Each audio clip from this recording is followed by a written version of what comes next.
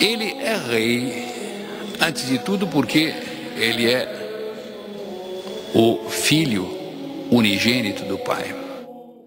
O medo é um sentimento, o medo até é um instinto que não depende da vontade humana. Nós nos lembramos de Henrique IV quando ia para as batalhas, algumas de suas batalhas, não quero dizer que fossem todas, pelo menos esta que passou para a história, em que ele, dentro da armadura, tremia, tremia porque ele não sabia o que ia encontrar pela frente. E não sabendo o que ia encontrar pela frente, ele tinha medo. Ele não sabia que flecha iria atravessar a garganta dele. Ele não sabia que, uh, que massa iria bater na armadura dele. Ele não sabia que lança ia atravessar o peito. Não tinha ideia. E ele caminhava para a morte. A morte traz medo. Por quê? Porque a sensação que tem o ser vivo é de que morrendo ele é destruído. E isso se passa inclusive com os animais. Um, um boi, quando vai para o matadouro, ele berra como muge como, como nunca. Ele tem notícia de que ele vai acabar. E o instinto de, de conservação leva ao medo.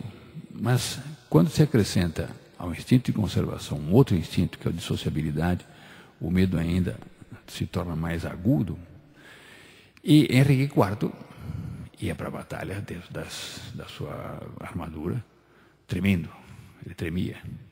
E ele usava essa expressão, narra a história.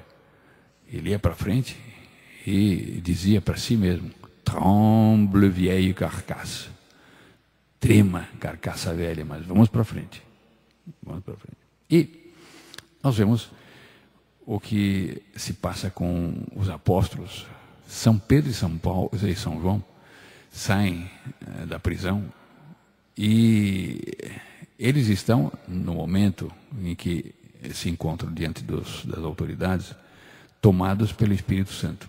Mas quando eles vão dar o relato, eles já não estão mais com o instinto de sociabilidade, com o instinto de conservação hum, inteiramente hum, dominado. Por quê? Porque o Espírito Santo age assim. No momento do perigo, no momento do risco, ah, é possível que o sopro seja tal que a pessoa tenha um ímpeto colossal e nem sequer pensa na morte, nem sequer pensa no desastre, nem sequer pensa no que poderá acontecer de ah, de ridículo, de reprovação, de repúdio destes e daqueles.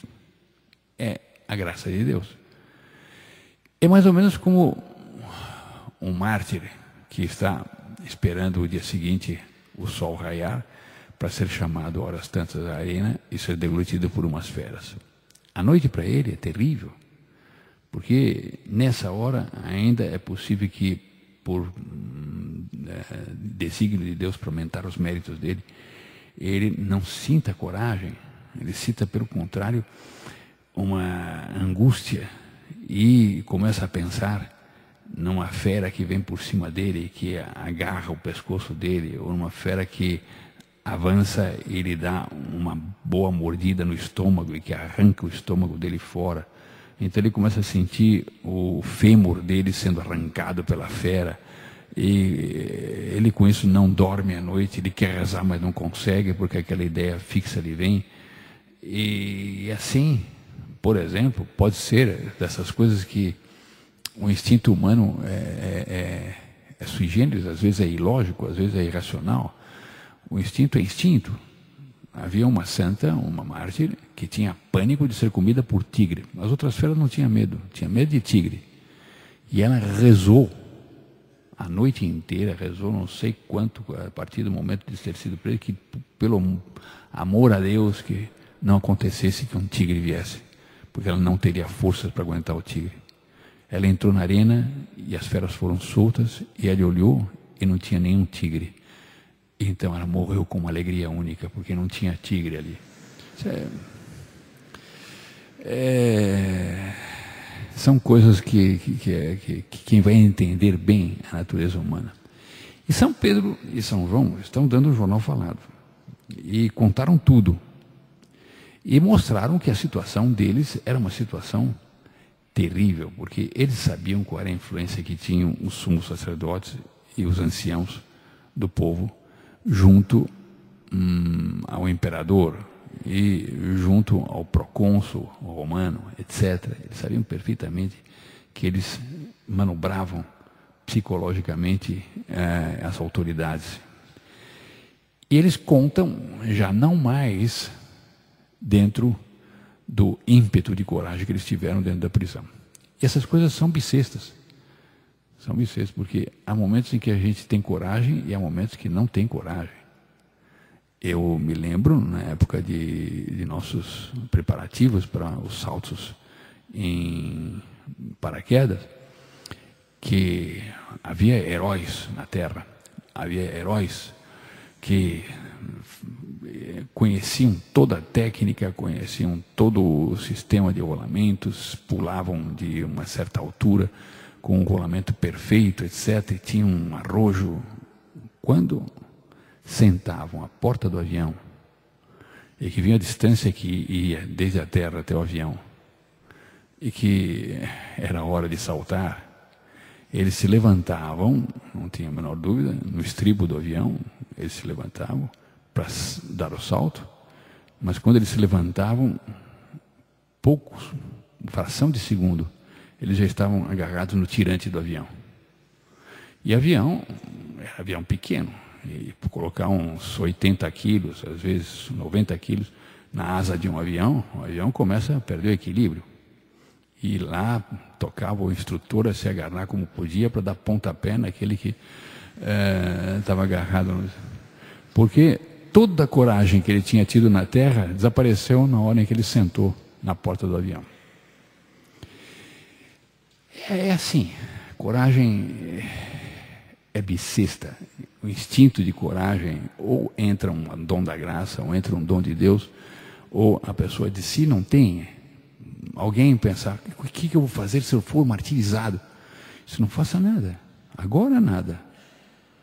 É, não é preciso fazer um exercício. Agora não faça exercício nenhum. A única coisa que tem que fazer é ter muita piedade e muita fé. Porque se não vier uma graça na hora, e uma graça, hum, portanto, eficaz, que é a graça do martírio, nada feito. Por mais que seja a têmpera destes ou daqueles, chega nessa hora o domínio do instinto de conservação, do instinto de sociabilidade, tantos instintos, é, é terrível, é terrível. E estas duas cenas, nós assistimos ontem uma galhardia, uma ufania extraordinária dos dois apóstolos diante dos, das autoridades, dizendo que eles não tinham o direito de desobedecer a Deus para estar obedecendo a eles, põem o problema para eles, etc. Enfrentam com uma uh, altaneria fora do comum. Agora eles estão no cenáculo. Eles vão para os, os irmãos e vão contar o que aconteceu. É o que está dito aqui.